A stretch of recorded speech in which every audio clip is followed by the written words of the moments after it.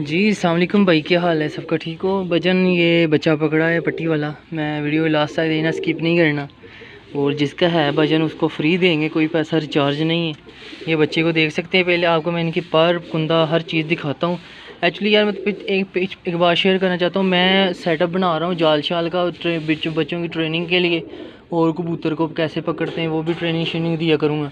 तो इंशाल्लाह बच्चों को ट्रेन कैसे करते हैं, वो भी ट्रेनिंग शेनिंग दिया करूँगा वीडियो इंशाल्लाह लास्ट तक देखना आपने। तो इसलिए मैं व्हाट्सएप पे किसी को रिप्लाई नहीं कर पा रहा यार, ताकि बहुत से लोग कहते हैं, भैया आप रिप्लाई नहीं करते। भाई दो चार दिन मैं बिज़ी हूँ, जब मैं फ्री हो जाऊँगा, इंशाल्लाह सबको रिस्पॉन्स दूँगा।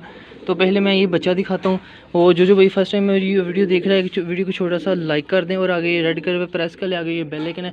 बेल आइकन ऑल नोटिफिकेशन पे प्रेस कर ले, ताकि हम जो डेली वीडियोस अपलोड करें नोटिफिकेशन मिलता रहे। मैं इसको आपको, आँख दिखाता हूँ इसकी, ये देखें।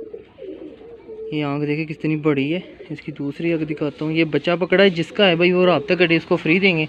इसके पर भी मैं दिखाता हूँ। ये टेप लगाई है। ये देख सकते हैं आप।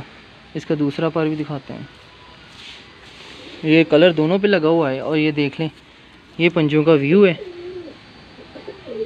एक और चीज़ है, इसकी कड़ी जिस जिस नंबर की डली है, वो हमें बता दे। वो हमसे फ्री ले ले। नंबर वाली कड़ी है बता के।